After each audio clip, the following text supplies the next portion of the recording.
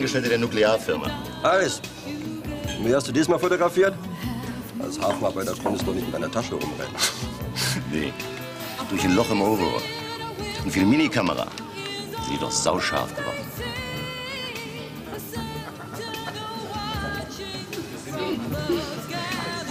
Hallo?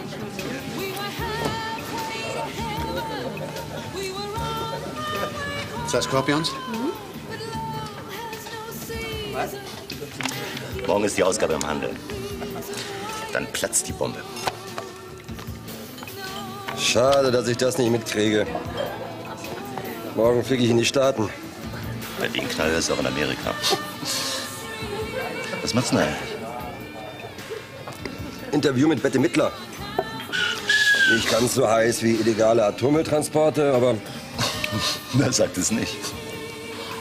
ja, guck mal, wer da ist.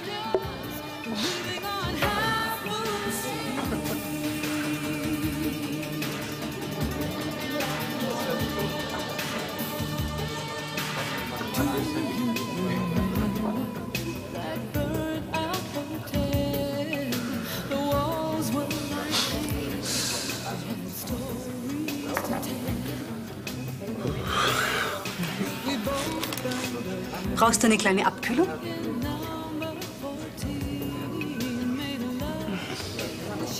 Vorhin warst du aber nicht so zurückhaltend. Du entschuldige bitte, aber hier könnten Leute auftauchen, die mich kennen.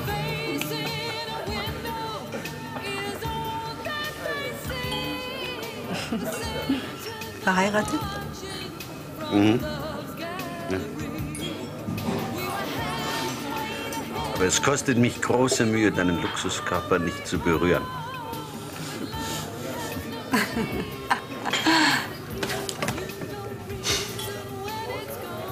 Hallo Sonja. Hallo.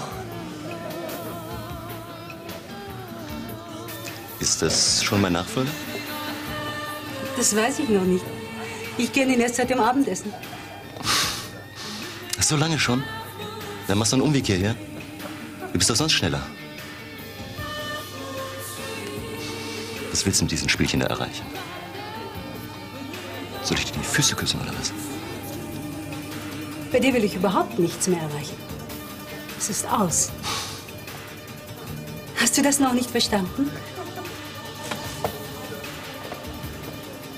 Ein Freund von dir?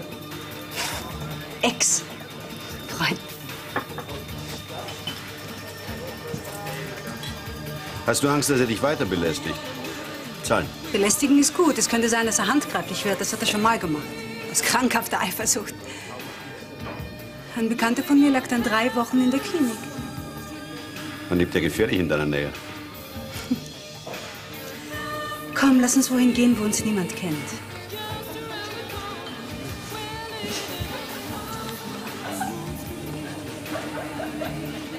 Sieht ganz so aus, als wäre der Wurm in der Beziehungskiste.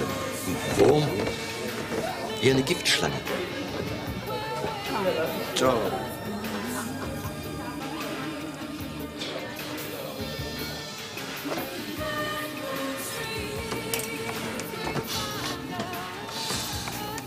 Genau das liebe ich Sonja.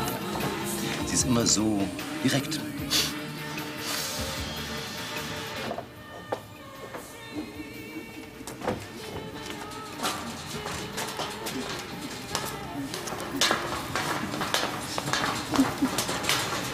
Polizeistunde benutzt die Prominenz den Hinterausgang.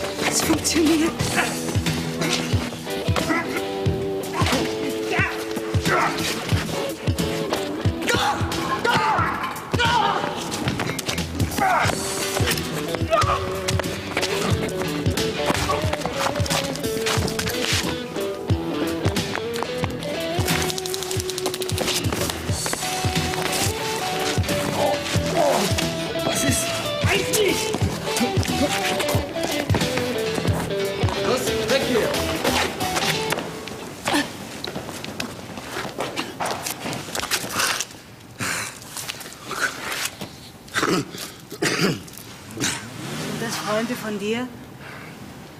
Ich kann mir schon denken, wer die mir geschickt hat. Deine Frau? Jemand, der glaubt, dass ich ihn übervorteilt habe. Und? Hast du? Ich habe ein gutes Geschäft gemacht. Da gibt's immer welche, die sich benachteiligt fühlen. Was ist das eigentlich für eine Höllenmaschine? Das? Das ist ein Paralyzer. Er verteilt elektrische Schläge. Sehr wirkungsvoll. Dank dir. Und das trägst du immer bei dir? Früher nicht.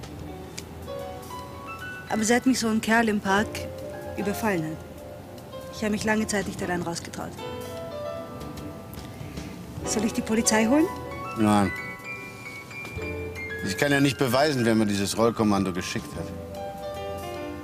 Und außerdem wäre die Nacht für uns gelaufen, wenn ich jetzt zur Polizei gehen würde. Verstehst du das? Und der Wagen? Ach, was? Oh. Ich habe im Sunset ein paar Gläser zu viel getrunken. Und als gesetzestreuer Bürger habe ich mit einer Hand Taxi genommen. Morgen, wenn ich dann den Wagen abholen will, falle ich natürlich aus allen Wolken über diesen Vandalismus. Und dann gehe ich auch zur Polizei.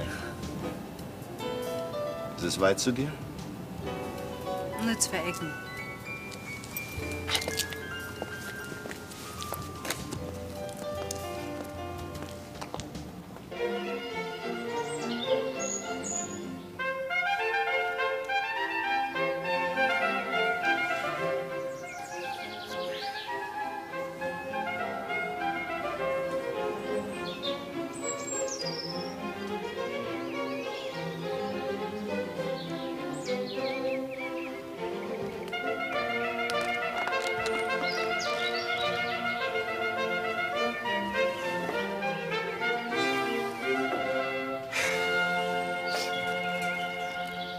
Es ist 11 Uhr. Radio F1 bringt Nachrichten. Noch keine Spur von Felix Hartwig. Wie berichtet wurde sein Wagen am frühen Morgen verlassen und stark beschädigt auf einem Frankfurter Parkplatz aufgefunden. Da am Fundort Kampfspuren nicht, und. Hartwig in letzter Zeit anonyme Drohungen erhalten haben soll, schließt die Polizei eine Entführung nicht aus. Möglicherweise gibt es auch einen Zusammenhang mit einem Altbausanierungsskandal, in den der 36-jährige Finanzmakler unbestätigten Informationen zufolge verwickelt sein soll. In die Schlagzeilen geraten ist Hartwig jedoch erst letzten Monat anlässlich seiner Verlobung mit Amelie Gräfin von Kaltenbach, der Erbin des? Kaltenbach-Konzerns. Bei einem Terroranschlag in Belfast Ja. Wenigstens hast du keinen Ehebruch begangen. Was? Ach so, ja. Trotzdem, wenn sie es erfährt, kann ich die Hochzeit vergessen. Komm. Wir denken uns jetzt irgendeine Geschichte aus, dann rufst du deine Amelie Jetzt komm, zerbrich du dir nicht meinen Kopf, ja?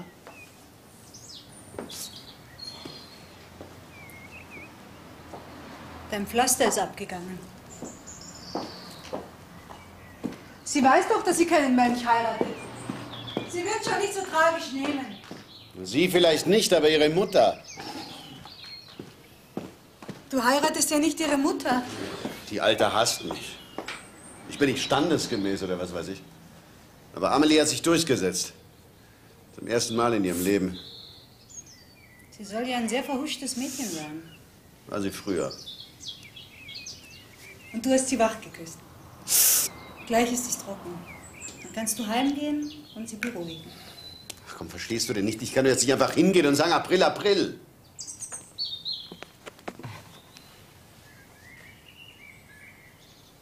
Was liebst du eigentlich so an Amelie? Einiges. Ihren Konzern zum Beispiel?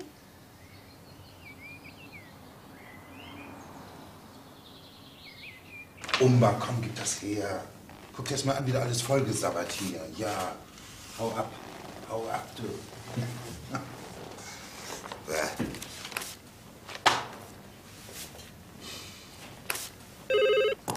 Ja? Ein Herr Schawlinski ist am Apparat.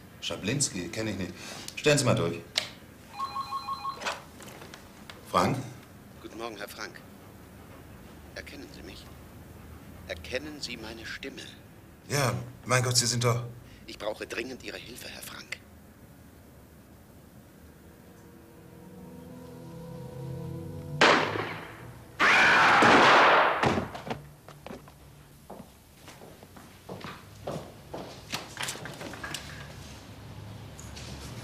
Hallo, hast du heute Nachrichten gehört?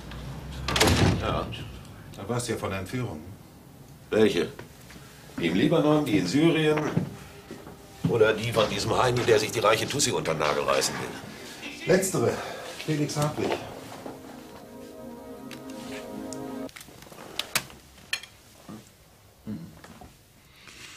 Er ist einer meiner Mandanten. Er hat mich gerade angerufen. Ach, ist er wieder frei? Keine Ahnung. Er wollte am Telefon nicht weiter sprechen. Er hat mir nur eine Adresse genannt und da soll ich jetzt hinkommen, und zwar allein.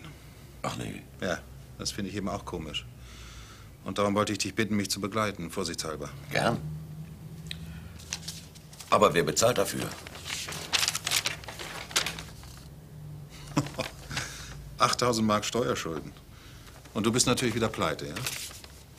Wie du siehst, kann ich mir im Moment keine Freundschaftsdienste leisten. Na gut. Ich lade dich dafür mal so richtig zum Essen ein, ja? Moment.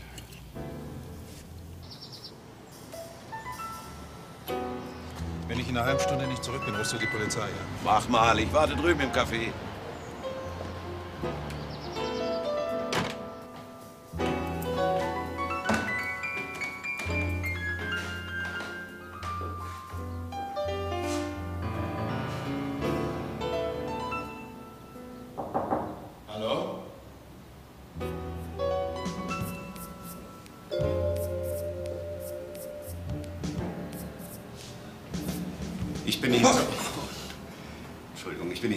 Dass Sie gekommen sind. Aber keine Sorge. Ich bin allein. Ich bin auch nicht entführt worden. Die Wohnung gehört einer pflichtigen Bekannten. Sonja Frei. Wo ist sie? Zur Arbeit. Sie ist Moderedakteurin. Ähm, alles, was ich Ihnen sage, fällt auch unter die Schweigepflicht, oder? Ja, natürlich. Sie müssen mir helfen.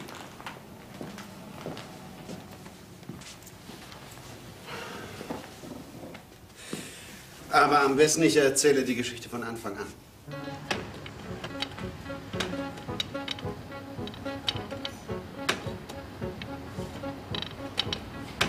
Ich mal die Zeitung hier haben? Das ist ja nicht meine. Das ist ja ein uraltes Schätzchen. Funktioniert das noch? Sehen Sie doch.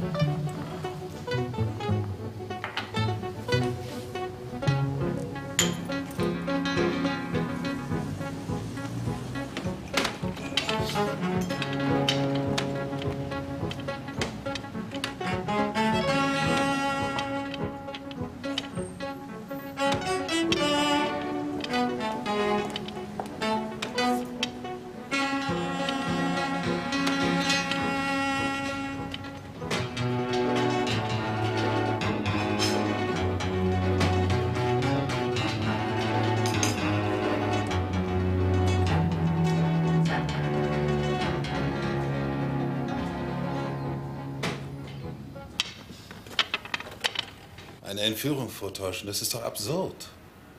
Gehen Sie lieber zur Polizei und sagen Sie die Wahrheit. Und wenn nicht? Was hätte ich schlimmstenfalls zu erwarten? Vortäuschung einer Straftat bis zu drei Jahren Gefängnis. Das sind schon drei Jahre gegen meine gesamte Zukunft. Das müssen Sie wissen. Ich darf mich verabschieden. Warten Sie. Ich will Ihnen erzählen, wie ich mir die Sache vorstelle. Tut mir leid, kein Interesse. Ja, sind Sie nun mein Anwalt oder nicht? Ich brauche Ihren Rat. Den habe ich Ihnen schon gegeben. Trotzdem. Hören Sie mir wenigstens zu.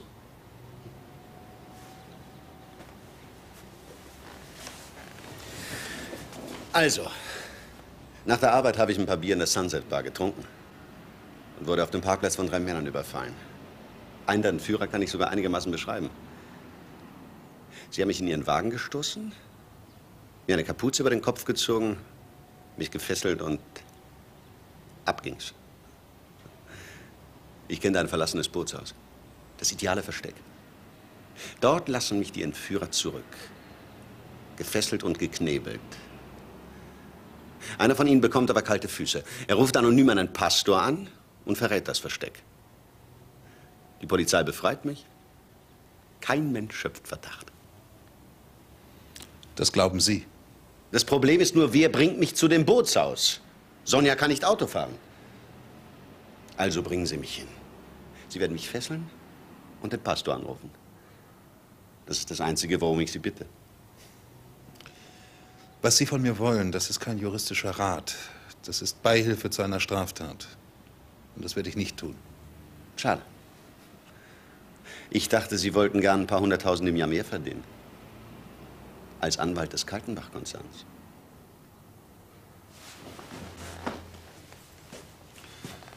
Wissen Sie, es reicht völlig, wenn Sie mir mein bisheriges Honorar überweisen. Guten Tag.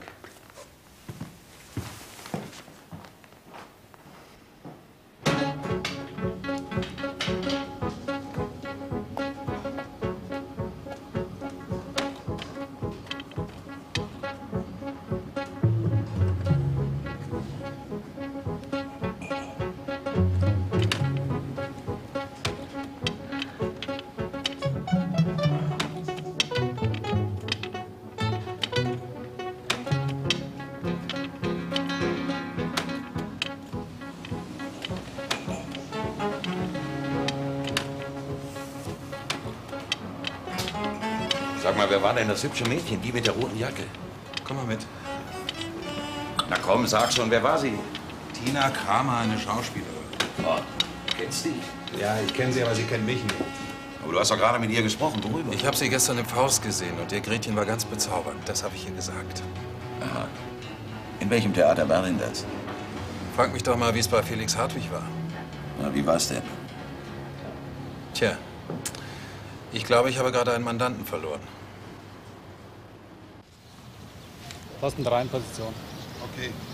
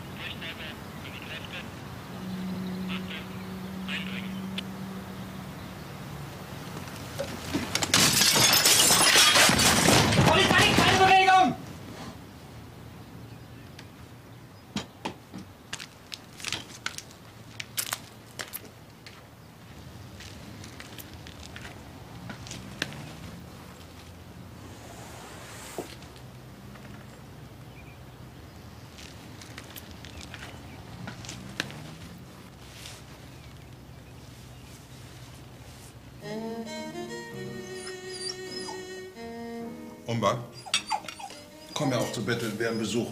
Komm, hau ab. Sag mal, dieser Faust, das ist doch die Geschichte von dem alten Mann, dem der Teufel hilft, dieses junge Mädchen aufs Kreuz zu legen. hm?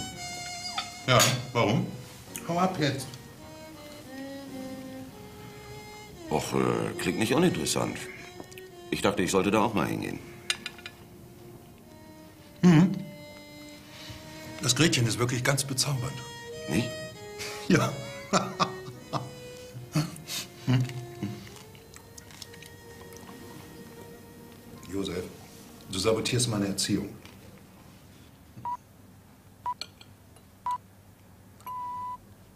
Es ist 21 Uhr, wir bringen Nachrichten. Felix Hartwig ist tot.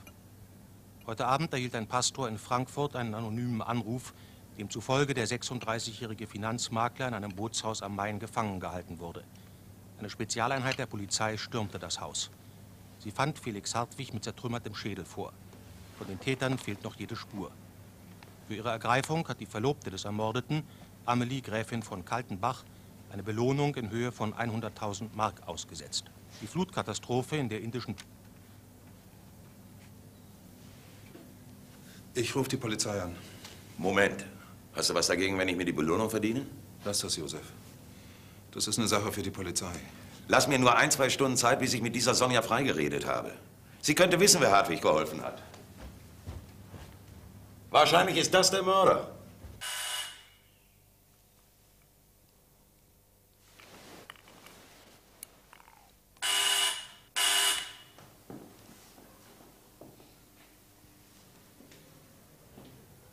Ja, Guten Tag, Sonja Frei. ja. Mein Name ist Matula. Darf ich reinkommen? Es geht um Felix Hartwig. Kenne ich nicht. Ich kann auch durch die Tür sagen, was ich über Sie und Hartwig weiß.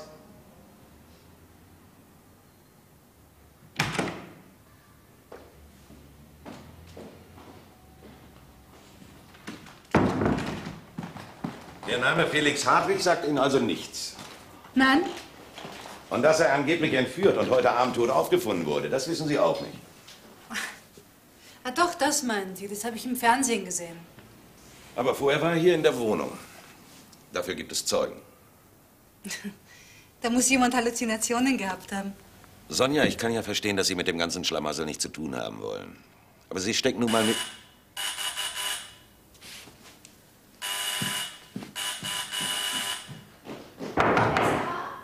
Machen Sie die Tür auf, Polizei! Aufmachen! Polizei! Das hat doch keinen Sinn, die kommen sowieso rein.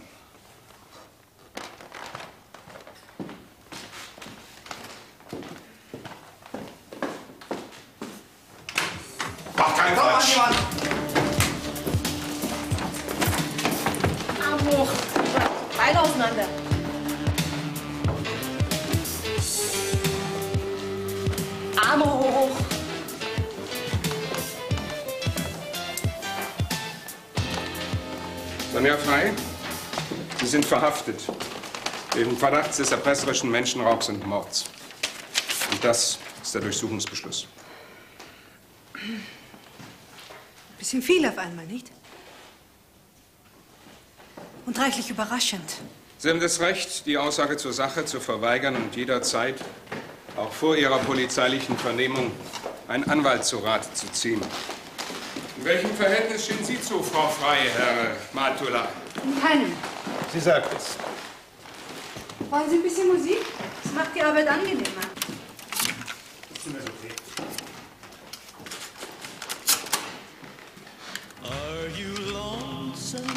So, jetzt zu Ihnen. Sie. Herr Staatsanwalt, ich möchte jetzt keine Aussage machen.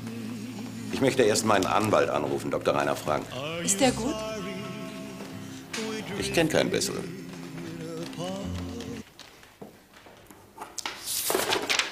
Bitte? Herrn Matulas Entlassung habe ich eben angeordnet. Dass er sich erst die Belohnung verdienen wollte, anstatt gleich zu uns zu kommen, das war zwar nicht ganz, naja, schwamm drüber. Sehr verbunden. Und was ist mit Frau Frei? Die bleibt vorläufig in U-Haft. Wieso denn das? Herr Hartwig hat sich aus freien Stücken in Ihrer Wohnung aufgehalten. Das kann ich bezeugen. Sie hat für die Tatzeit kein Alibi. Mein Gott, wenn sie die Mörderin wäre, dann hätte sie eins. Wie sind Sie eigentlich auf die Spur meiner Mandantin gekommen? Ihr Fingerabdruck war auf dem Sprühpflaster an Hartwigs Stirn. Registriert. Vor ein paar Jahren ist sie mit dem Betäubungsmittelgesetz in Konflikt geraten. Also wenn Sie Frau Frei nicht glauben, dann dürften Sie mir eigentlich auch nicht glauben. Ich behaupte schließlich, mit Hartwig gesprochen zu haben, in Ihrer Wohnung. Herr Dr. Frank, ob ich Ihnen glaube oder nicht, ist nicht der Punkt. Wenn Ihre und Frau Freys Geschichte die ganze Wahrheit wäre, dann hätten wir jetzt keine Leiche.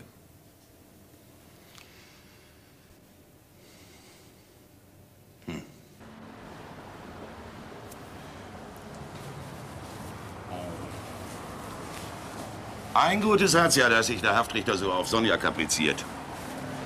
Ich kann mir die Belohnung doch noch verdienen. Ja, muss nur noch den Mörder überführen, aber das ist ja eine Kleinigkeit für dich. Hm? Oh, so schwer auch wieder nicht. Wir müssen nur Freunde von Hartwig ausfindig machen. und deren Alibis für die Tatzeit überprüfen. Und der, der keines hat, der könnte Hartwig bei seinem Plan geholfen haben. Könnte. Und dann? Dann haben wir vielleicht den Mörder oder zumindest einen, der mehr weiß. Gehst du zur Beerdigung? Du meinst, ich soll mir seine Freunde anschauen? Na klar. Das ist doch eigentlich dein Job. Du warst sein Anwalt. Wenn du hingehst, ist das nicht so verfänglich. Was zahlst du denn? Ah.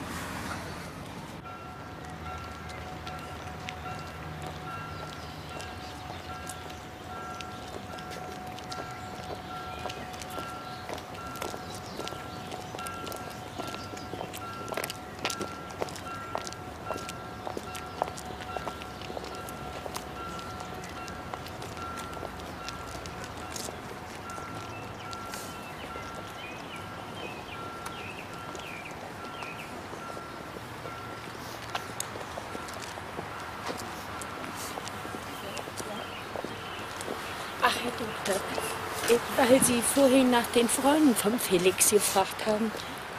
Der Herr da vorne neben der Braut. Ja, oder der Witwe. Was ist er denn nun eigentlich? Ja, nix. Also der, der neben dem Fräulein Gräfin. Das könnte einer sein. Ja, ich meine, wer das Begräbnis und sonst alles organisiert hat, da tun doch nur Verwandte oder eben gute Freunde, oder? Wissen Sie, wer er ist?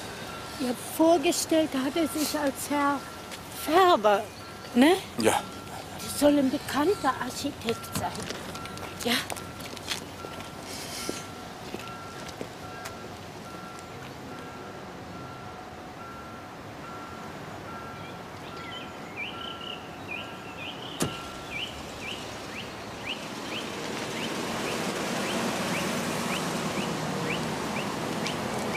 Haben Sie diesen, diesen Färber früher schon mal gesehen? Nein. Ne? Oder hat Ihr Sohn von ihm erzählt? Ach, wissen Sie, Doktor, der Felix, der hat uns nicht mehr oft besucht in den letzten Jahren. Der hat uns ja nicht mal seine Verlobte vorgestellt. Warte, nimm noch eine Baldrian-Kapsel, ja? Hier, komm. Ihr habt doch schon fünf geschluckt. Ja. Die helfen ja nicht.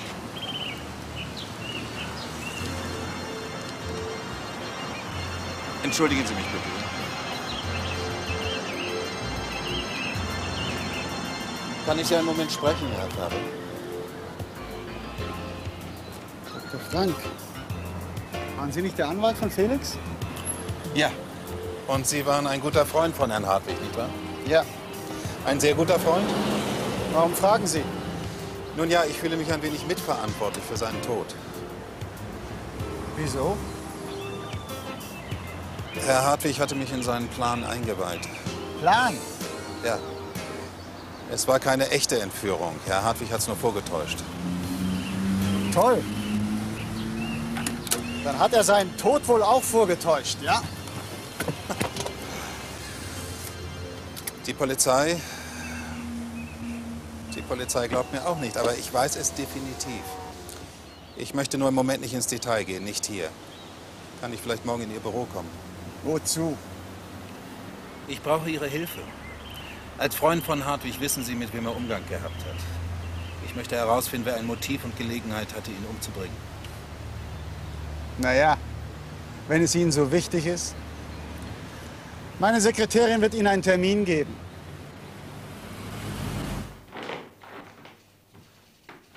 Guten Tag, Frank.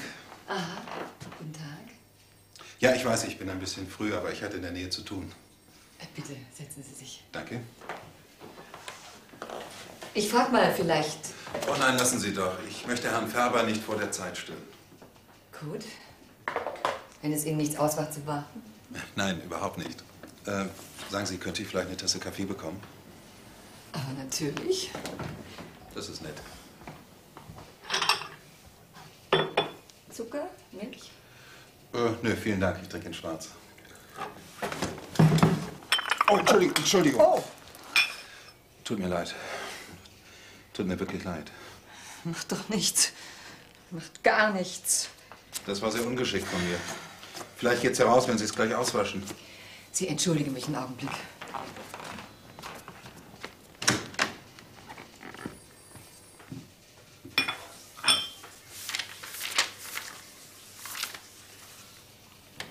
17 Uhr Squash. Ah, Dr. Frank. Sie sind schon da. Tag, Herr Färber. Bitte. Kommen Sie rein. Danke.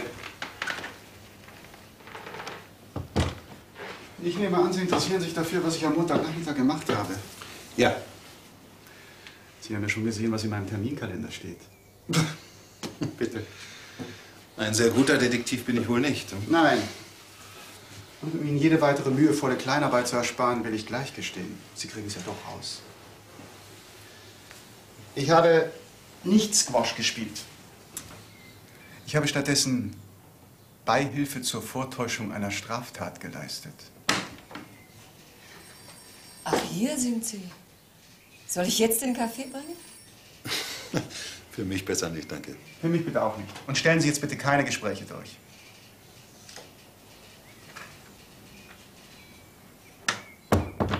Sie haben also Herrn Hartwig zum Bootshaus gebracht. Hab ich. Und gefesselt habe ich ihn auch. Und dann habe ich anonym den Pastor informiert. Nur erschlagen habe ich Felix nicht. Enttäuscht? Warum sind Sie da nicht zur Polizei gegangen? Dumme Frage. Weil ich mich strafbar gemacht habe. Das wissen Sie doch ganz genau. Ist das alles? Na gut. Ich habe auch an Felix und Amelie gedacht. Sie sollte ihn in guter Erinnerung behalten. Ich dachte, das wäre ich meinem Freund schuldig. Wenn mein Freund ermordet werden würde, dann würde ich mithelfen, seinen Mörder zu finden. Das wäre ich ihm schuldig. Davon wird er auch nicht wieder lebendig. Und dass eine Frau unschuldig im Gefängnis sitzt, das stört Sie überhaupt nicht, hm? Noch ist sie ja nicht verurteilt. Ich muss Sie bitten, Ihre Aussage vor dem Staatsanwalt zu wiederholen.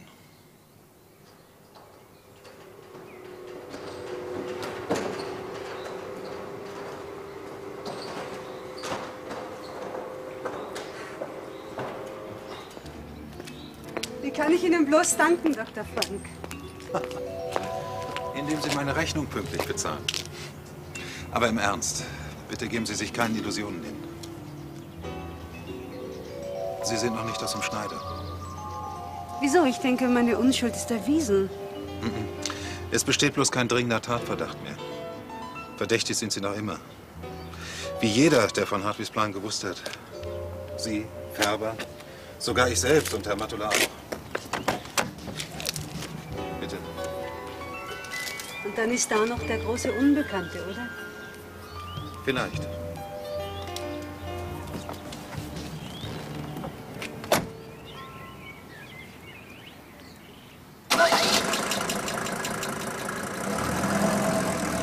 Da wir beide ja wohl als Mörder ausscheiden, bleibt Sonja frei und Wilfried Färber. Ja, und die Kaltenbach. Wieso? Haben die denn von dem Plan gewusst? Weiß ich doch nicht. Aber nimm mal an, es stimmt, was Hartwig erzählt hat. Dass die Mutter von Amelie absolut gegen ihn war. Und dann nimm weiter an, dass Faber ihr den Entführungsplan verraten hat. Das wäre doch für sie eine wunderbare Gelegenheit gewesen, den unerwünschten Schwiegersohn loszuwerden. Du meinst, Färber verrät seinen Freund an die Alte? Killt ihn womöglich sogar für sie, weil er selber an die Goldgrube ran will, oder was? Weiß man's?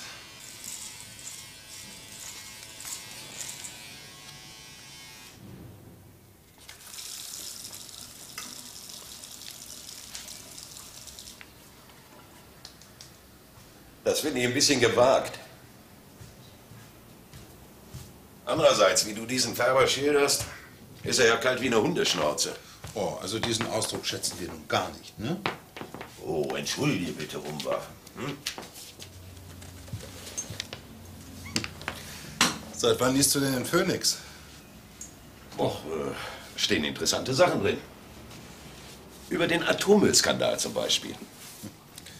Und die Kultur erst, gell? Tina Kramer, die Frau, die Faust den Kopf verdreht. Mhm. Hast du schon gesehen? Hier ist ein Foto von Sonja drin. Nee, wo? Na hier, Phoenix intern. Unser Starreporter Markus Meyer mit seiner Lebensgefährtin Sonja in seinem Stammlokal Sunset Bar. Seine neue heiße Reportage beginnt auf Seite 27. Es geht eine Tonne auf Reisen, das... Versteckspiel mit dem Atommüll, habe ich gelesen. Merkwürdig, dass sie ihn nicht erwähnt hat. Wer, wen? Äh, Sonja, ihren Lebensgefährten. Als sie in Urhaft kam, habe ich sie gefragt, wen ich verständigen soll. Sie hat gesagt, niemand. Den habe ich doch schon mal gesehen. Und weißt du auch wo? Im Café, als du in Sonjas Wohnung mit Hartwig zugange warst. Was? Moment mal. Die Tasche. Natürlich, der hatte eine Tasche dabei. Die stand direkt am Fenster auf dem Tisch. Und als ich die aus Versehen mal verrückt habe, da hat er sie ganz pingelig wieder zurechtgeschoben. Soll ich dir was sagen? In der Tasche war eine Kamera versteckt. Auf Sonjas Haus gerichtet. Ach komm. Der Sensationsreporter auf heißer Spur oder was? Und von wem sollte er überhaupt den Tipp gekriegt haben? Von Sonja. Wenn ich nicht ganz falsch liege, hat dieser Markus Meyer fotografiert, als Hartwig und Färber das Haus verlassen haben. Womöglich hat er sich an die drangehängt. Vielleicht hat er sogar den Mörder fotografiert. Wer immer es war. Naja, dann stellt sich die Frage, warum er die Fotos nicht veröffentlicht hat, wenn du recht hast. Frag ihn doch. Sag mal, was ziehst du da eigentlich an? Meinen feinsten Zwirn. Ich gehe nämlich ins Theater. Es sieht so ein bisschen verkleidet aus, weißt du? Rainer, du hast keine Ahnung. Das ist von erlesenster Eleganz. Aha.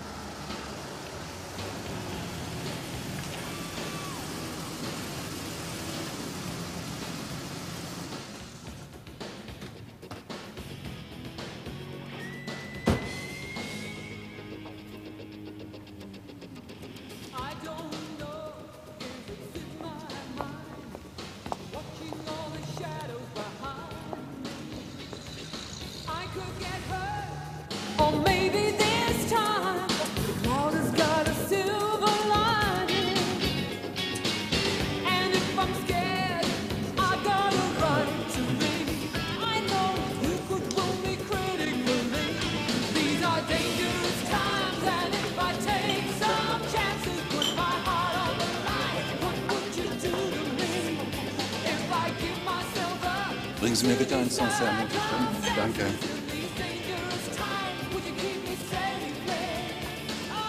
Guten Abend. Guten Abend, Herr Doktor. Wie geht's? Einigermaßen. Setzen Sie sich doch. Danke.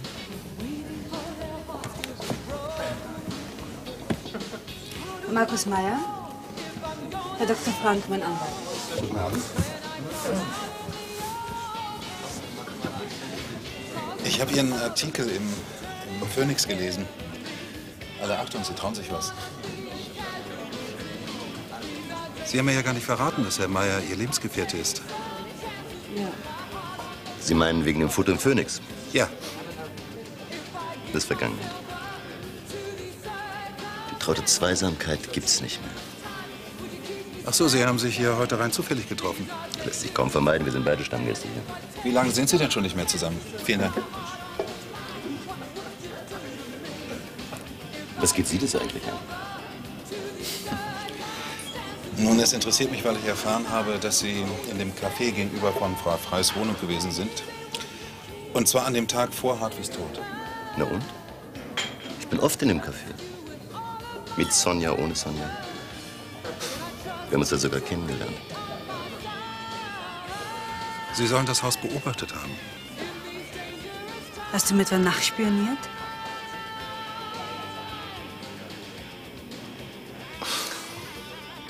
Zu.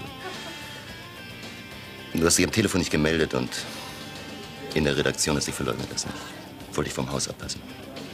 Na gut, ich wollte eine Aussprache. Wir waren gerade dabei, als Sie kamen. Nehmen Sie zu Ihren persönlichen Aussprachen immer eine versteckte Kamera mit? Kamera, was soll denn der Blödsinn?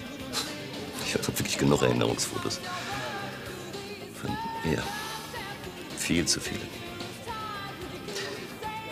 Was wollen Sie denn eigentlich anhängen? Kommen Sie, Herr Meier. Spielen wir mit offenen Karten. Hartwig war in der Wohnung von Frau Frei, als Sie das Haus beobachtet haben. Sie hatten eine Tasche dabei, in der vermutlich eine Kamera versteckt war. Sie könnten also Hartwig und seinem Freund Färber heimlich gefolgt sein, um später eine Reportage daraus zu machen. Ich meine, als Enthüllungsjournalist haben Sie einen fabelhaften Ruf, nicht wahr?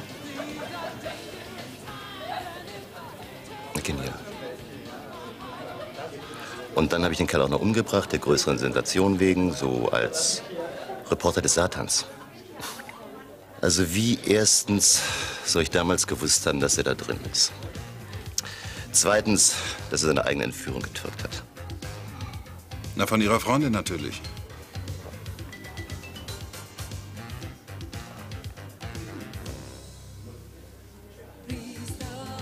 Willst du mir das anhängen?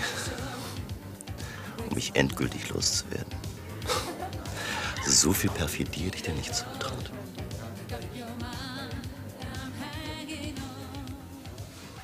Guten Morgen. Ah, Oma, morgen. Hallo. Na, wie war's im Theater? Toll. Ganz großartig. Da gehe ich öfter hin. Besonders Tina. Ich hätte es ihr gerne selber gesagt, aber. Ist das für mich? Hm, bedien dich. Aber irgend so ein Cerberus hat mich nicht hinter die Bühne gelassen. Außerdem hatte ich keinen Mephisto zur Hand. Ich habe Markus Meyer in der Sunset Bar getroffen. Ach komm, lass das doch. Ja, und? Ja, er hat mich auflaufen lassen. Und zwar voll. Dann werde ich mal meine Trickkiste auspacken. Ich werde ihn mit seinen eigenen Waffen schlagen.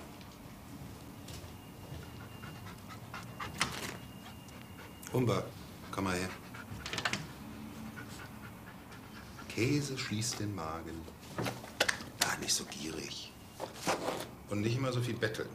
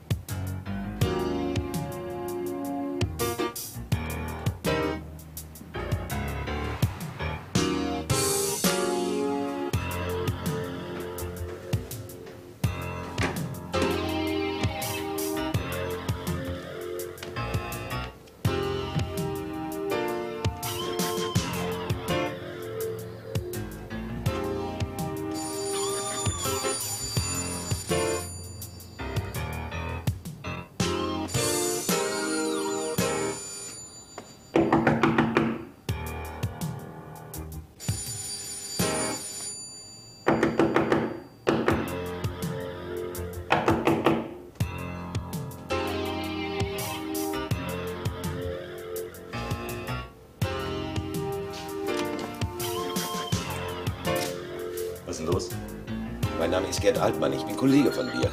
Abendblatt. Allerdings nur Lokalredaktion. Ich muss dringend mit dir reden. Ist jetzt? Halb fünf Uhr früh? Komm heute Nachmittag zum Phoenix. Die Polizei ist hinter dir her.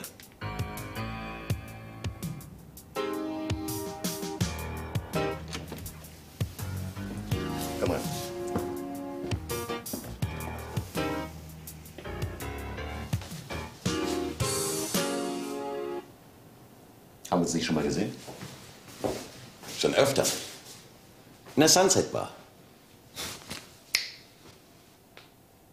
Und was ist jetzt mit der Polizei? Das mit dem Foto von dir im Phoenix war ein Fehler. Jemand hat dich erkannt und sich daran erinnert, dass du letzten Montag ziemlich lange in einem Café warst. Und zwar genau gegenüber von dem Haus, in dem sich Hartwig die ganze Zeit aufgehalten hat. Und dass du dauernd so eine merkwürdige Tasche auf dem Tisch rumstehen hattest.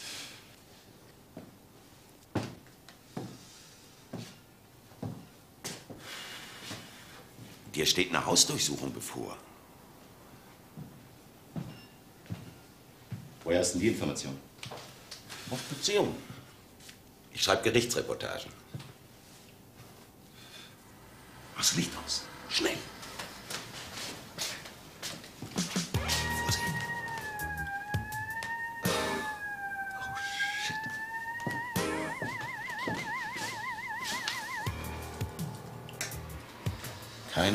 Das ist nur die Vorhut.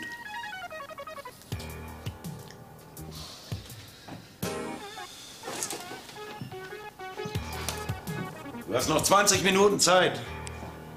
Vor sechs dürfen die ja nicht. Warum hast du die Fotos von der Pseudo-Entführung eigentlich nicht veröffentlicht? Es gibt keine Fotos. Natürlich gibt es keine Fotos. Aber nehmen wir mal an, du hättest welche gemacht. Hättest du damit doch eine Menge Geld machen können. Mal angenommen, ich hätte sie wirklich gemacht, die Fotos. Und ich wäre Hartwig mit seinem Freund Färber zum Bootshaus gefolgt mit einer Kamera. Und Hartwig wäre dann plötzlich tot dagelegen. Was glaubst du, auf wen der Verdacht gefallen wäre? Auf Färber und dich wahrscheinlich. Eben. Und Färber, Hartwigs Freund, angesehener Architekt, hat kein Motiv. Du hast auch keines. Dann macht das mit den Bullen klar. Ich bin vorbestraft, weil ich einmal einen Liebhaber von Sonja verprügelt habe. Und Sonja hatte was mit Hartwig. Du hast das Material also vernichtet.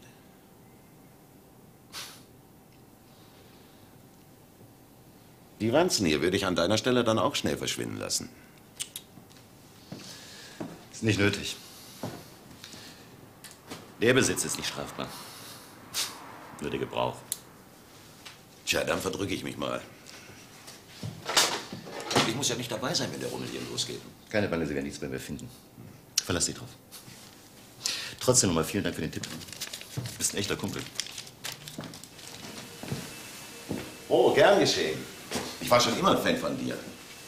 Ich möchte auch mit deinen Methoden arbeiten. Schau mal beim Phoenix vorbei. Vielleicht lässt sich ja was machen.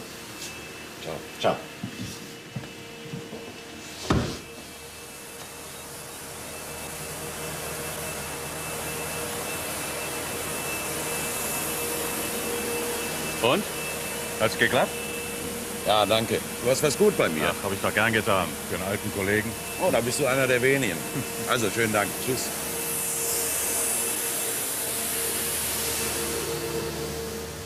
Ah ja. Gut, danke, Herr Färber. Ja, wiederhören. Tja, Färber ist sich sicher, dass Ihnen niemand zum Bootshaus gefolgt ist. Na klar, da haben Sie natürlich aufgepasst. Dann muss Markus schon vorher da gewesen sein. Aber warum denn? Vielleicht hat er die beiden ja nur fotografiert, wie sie aus Sonja Freies Wohnung rausgekommen sind und das war's. Dann hätte er die Fotos ja veröffentlichen können. Nein, Markus muss am Tatort gewesen sein, sonst käme er ja nicht im Mordverdacht. Es gibt noch einen anderen Grund, warum er das Material vielleicht zurückhält. Statten. Vielleicht will er den Mörder damit erpressen. Wie auch immer. Ich denke, Markus hat von dem Versteck gewusst. Und zwar von Sonja. Du meinst, die beiden haben sich wieder versöhnt? Was weiß ich. Jedenfalls, wenn ich Markus wäre, hätte ich die Hütte präpariert. Wanzen hat er ja genug. Also zum Abhören und Fotografieren, da braucht man wenigstens zwei Leute. Und wer ist der Zweite? Logischerweise. Elvis Presley. Bitte.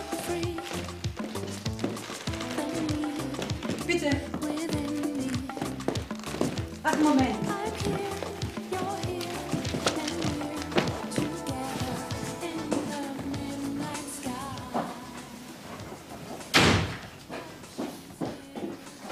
Wer ist das denn? Mein Anwalt und dieser Detektiv Matula. Was wollen die denn schon wieder? Ich weiß es nicht.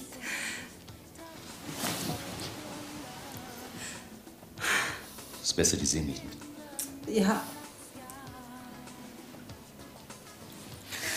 Ab jetzt seid ihr zusammen. Immer.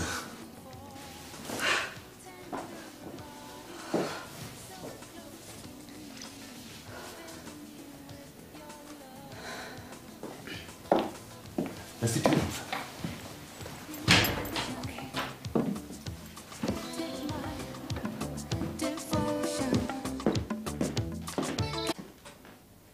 was meinen Sie mit neue Probleme sind aufgetaucht? Neulich bei der Durchsuchung hier haben Sie eine Kassette gespielt.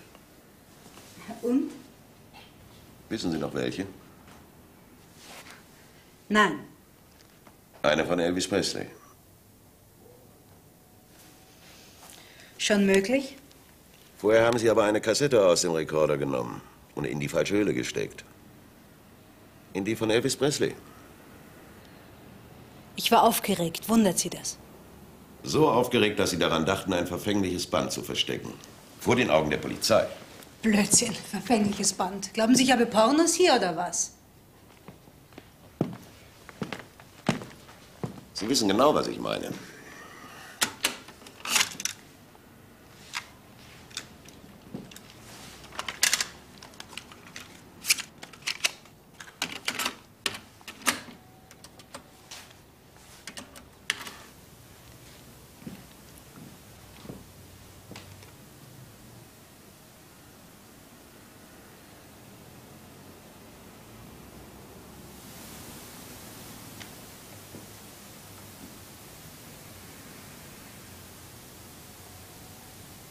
Sie haben es gelöscht. Auf dem Band waren die Stimmen von Färber und Hartwig, nicht wahr? Sie und Markus haben das Bootshaus mit Wanzel präpariert, bevor die zwei kamen. Zusammen mit Markus haben Sie fotografiert und abgehört, um eine Reportage über die Pseudoentführung zu machen, nicht?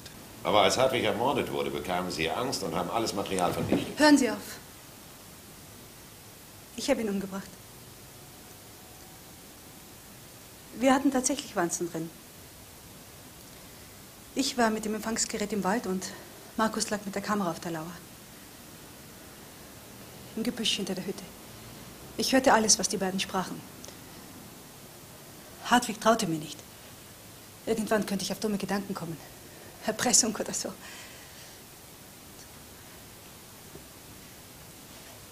Er wollte mich umbringen lassen. Er hatte ja auch einiges zu verlieren, den Kaltenbach-Konzern.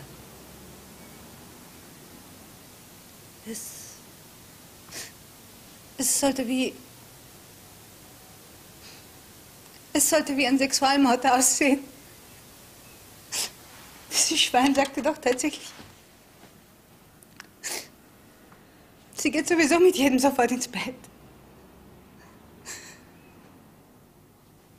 Als Färber weg war, wollte ich reingehen und ihm sagen, dass wir ihn mit Fotos fertig machen. Er hatte diese Kapuze am Kopf. Und als er meine Schritte hörte, dachte er, Färber käme zurück. Und er sagte, er wüsste jemand, der mich für 15.000 Mark erledigt.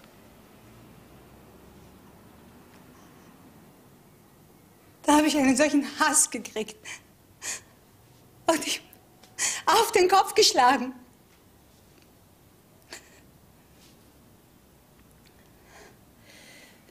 Er war sofort tot.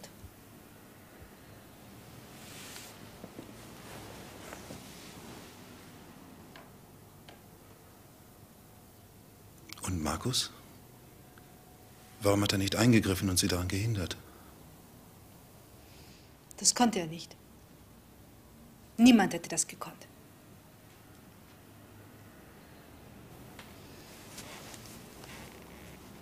Markus wird man nicht einsperren, oder?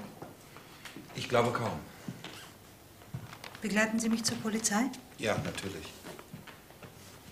Wenn Sie es nicht von sich aus erzählt hätten, es wäre wahrscheinlich nie rausgekommen. Ich weiß. Mensch, du bist doch Deutschlands dümmste Kuh. Hallo, Kollege. Warum hast du es gesagt? Weil ich frei sein will. Frei. Knast. Du weißt, was ich meine.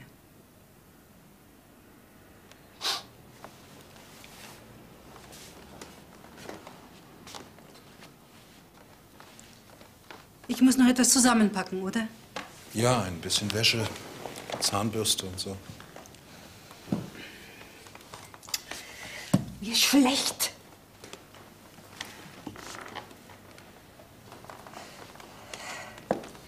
Kommen Sie.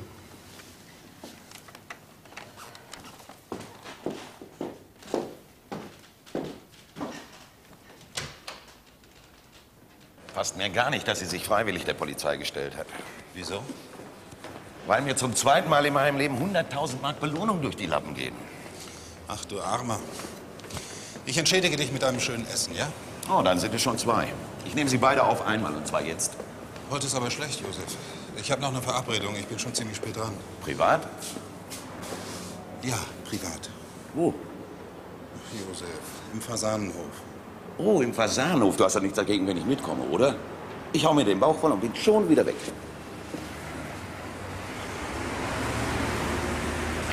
Ich wollte dich eigentlich bitten, mit Umba noch Gassi zu gehen.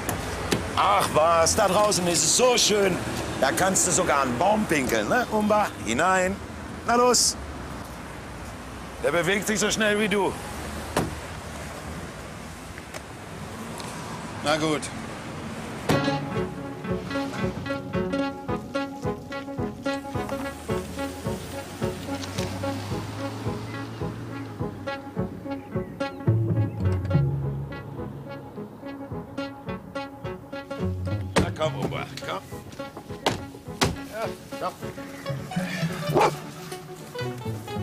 Du mach mal schön da an den Pfahl. Schmeckt der Wein besser? Hm? Hallo, da bist du ja. Hallo. Ich habe schon gedacht, ich wäre zu spät. Aber du bist auch nicht gerade pünktlich. Entschuldige. Ja, äh, ich mache euch mal bekannt. Das ist Josef Matula, Tina Kramer. Haben wir sie schon mal gesehen? Josef ist ein ausgesprochener Fan von dir. Freut mich. Essen Sie mit uns? Gern.